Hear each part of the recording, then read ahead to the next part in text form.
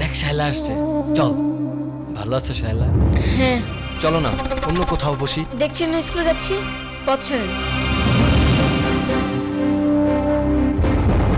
শায়লা কি হয়েছে?